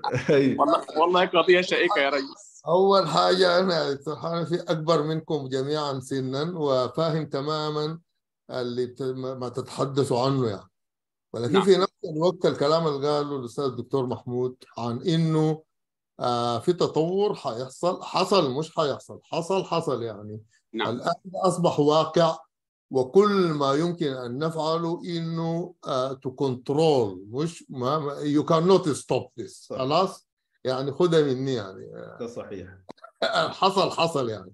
ولكن كيف الناس تسيطر على الأمر و- ولكن الآن نحن بنتعامل مع جيل يختلف من الجيل حكاية يمشي يبيت في ال- في ال- في المكتبة ده بالنسبة له ما وارد وقد ما يحتاج أساسا. يعني إذا المهارات المطلوبة للقرن الواحد وعشرين وبيوند بتختلف من المهارات اللي مطلوبة كانت مننا والأجيال اللي بعدنا. الأجيال القادمة بيحتاج منهم مهارات أخرى. حتى الآن في ال- ال concept بتاع مهارات القرن الواحد وعشرين لما حددوا ال top 10 skills البقى من اللي نحن تعودنا عليه هو ال communication وال collaboration. لكن الباقي كله عبارة عن مهارات تناسب العصر. مهارات تناسب العصر. الآن طالما هو بيقدر يحصل على المعلومة بطريقة سهلة جدا ما ما بالضرورة يحصل عليها بنفس الطريقة الصعبة اللي حصلنا عليها بها نحن في في في جيلنا والاجيال اللي بعدينا. فإذا خلونا يا زي ما في ال- المقولة أو الحديث لا أدري. علموا أبناءكم لزمان غير زمانكم. يعني نحن خلاص نجهزهم لأنه آه ذكرت آه ذكر الأستاذ الدكتور محمود الموضوع بتاع الأخلاقيات والقيم ده اللي مفروض نديه آه آه أهمية وأولوية في نشر وترسيخ ال- ال- القيم والأخلاق في التعامل مع هذه الأشياء. أما استخدامها كمهارات وكمصادر ده تيار جارف جدا لا يمكن الوقوف في طريقه يعني. وجهة نظر شخصية. صحيح. أحسنت يا دكتور. أحسنت. السلام عليكم دكتور محمود. وعليكم السلام ورحمة الله. لك بخير بسم الله ما شاء الله. الله يبارك فيك الله آه، يكرمك. هل معانا الأستاذ الدكتور مصطفى حسن آه، سمارت يونيفرسيتي ولا شخص آخر؟ آه أيوه حضرتك. أنا أنا جامعة الواد الجديد. الواد وسهلا. مرحبا أهلا وسهلا. تفضل تفضل أنا للأسف حضرت متأخر ال- يعني ال- المحاضرة الممتعة دي. فيعني انقصني اللي هي ال criteria بتاعت المجلة إنها تدخل في تقييم Scopus فممكن حضرتك يعني لو على السريع كده يعني تعطي ال criteria ال- الخاصة بال بتصنيف Scopus عشان المجلة تدخل تقييم Scopus هو في يعني. في 33 شرط عادة بيبقوا مطلوبين. لازم أي مجلة تلتزم بيهم آه، قبل ما تقدم على Scopus يعني. آه، أنا ممكن أبعت ال- القائمة كلها قائمة الشروط يعني. ممكن لو دخلت على الموقع بتاع معامل التأثير العربي هتلاقي الشروط موجودة. ولكن أهم الشروط دي إن أنت يبقى عندك المجلة فيها ISSN فيها website فيها distribution فيها عندك دقة لغوية فيها عندك التزام بالإصدار في التوقيت ال- المظبوط يبقى عندك هيئة تحرير قوية في التخصص متوزعة يبقى في يعني هم الشروط مش صعبة تتحقق ونقدر ندرسها يعني بسهولة تمام حضرتك شكرا لمعاليك شكرا معاليك الله يبارك وابعت لي ابعت لي على. حتى على الواتس أو على أي طريقة وأنا مباشرة أبعت لك القائمة يعني أنا تمام. هكتب أكتب لكم في الشات هنا ال- الرقم ال- اللي عليه الواتساب أي استفسار تحت أمركم في أي لحظة. تمام معاليك تمام. دكتور ماشي يا فندم. بارك الله فيكم. دكتور. شكرا شكرا. ودي أفتكر لحظة مناسبة أطلب من الجميع كتابة الإيميل في الشات على أساس إنه هنرسل لهم اللينك الرابط آه للتسجيل بتاع المحاضرة والشهادة. فكل واحد فيكم لو سمحتوا يدخل آه على الشات ويكتب الإيميل.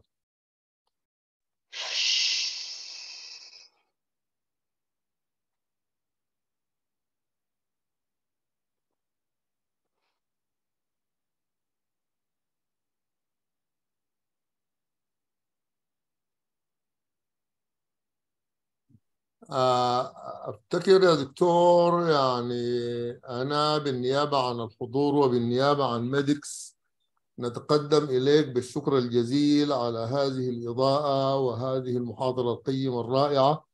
آه، أنا من ناحيتي أتوقع إنه بنحتاج ل آه، يعني آه، يكون course يعني ت- تيجي تعمل لنا course كده ويكون عملي ويكون نكون موجودين كده face to face وننهل من علمك الغزير و و- يشرفني. ونسألك أسئلة مباشرة إن شاء الله. ده أنا يشرفني وجودي معاكم وحقيقة النهارده سعيد جدا بالكوكبة اللي حاضرة يعني وأتمنى يا رب نكون قدرنا يعني نوصل معلومة مطلوبة لنا كلنا. آه، شكرا ونشكرك الشكر الجزيل. أنا حنتظر شوية عشان آخذ كل الإيميلز ولكن أشكر الجميع الناس اللي كتبوا الإيميل. نشكركم جزيلا. ونشكر الأستاذ الدكتور ونقول له آه، جزاك الله خيرا وفي ميزان حسناتك. ويمكنك الآن لو حبيت تغادر أنا حنتظر شوية. آخذ كل الإيميلات لأنه شايف الناس لسه بتكتب. شكرا لك يا أستاذ دكتور محمود. شكرا شكرا يا حبيبي. ربنا يبارك فيك يا صديقي الحبيب دكتور عبد المنعم. بارك الله فيك. شكرا مع استأذن دكتور محمود في رقم موبايله قال هيكتبه على الشات بعد إذن حضرتك يا دكتور. أنا كتبته يعني بس أكتبه مرة تانية. جزيل الشكر لحضرتك يا دكتور محمود على المحاضرة الرائعة. الله يكرمك يا فندم ربنا يحفظك. أدي اللي أنا كتبت الرقم مرة تانية.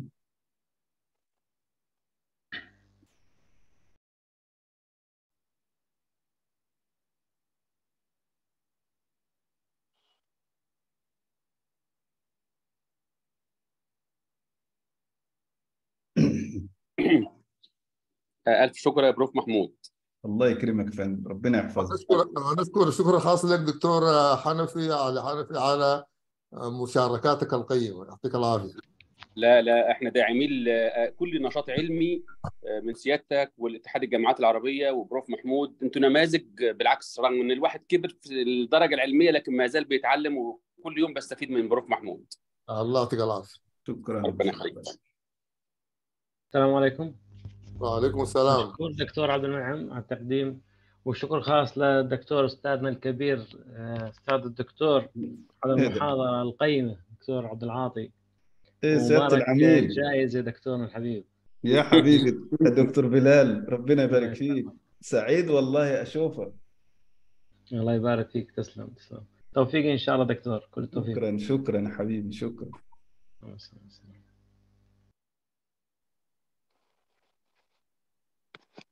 آلاء قالت لم يصل الرقم. الرقم وصل لكن don't worry هنرسل لكم مع الإيميل آه، مع الشهادة آه، كل ال contact بتاعات الأستاذ الدكتور. لو حبيتوا تتواصلوا معه بصورة مباشرة بنرسل لكم في الإيميل.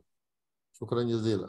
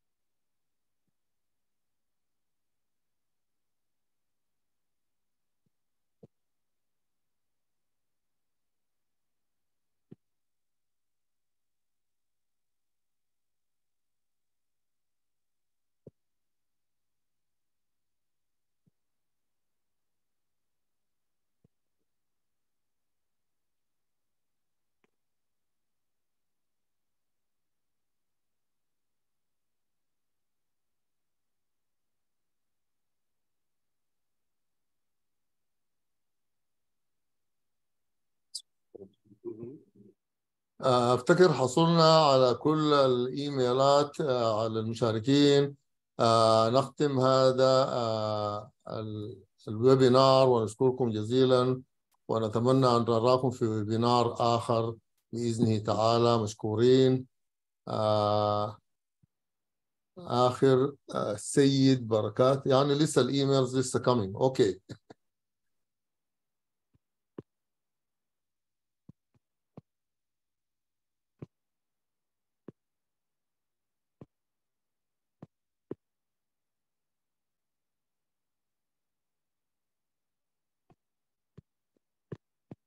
بركات آخر.